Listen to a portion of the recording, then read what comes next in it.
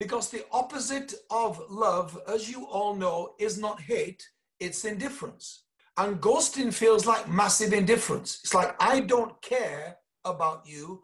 I don't care how this makes you feel. So the indifference with which I treat you creates this massive sense, I think, for us of emotional withdrawal and abandonment. When you feel emotionally abandoned by someone's withdrawal from your emotion that was there, then suddenly is not there, with no explanation, it feels like a form of abandonment, of being dumped, as it were. It's more damaging because we have to assign some meaning to it to make peace with it. And when you assign meaning to it out of your sense of abandonment and disappointment and hurt, the meaning's going to, by definition, be ego driven.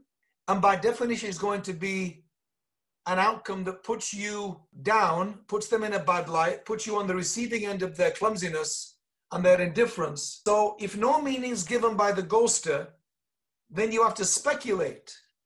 And if that comes to you as a person that's riddled already with self esteem and self doubt issues, that space in which you feel their indifference and abandonment, then your mind and emotions have a heyday.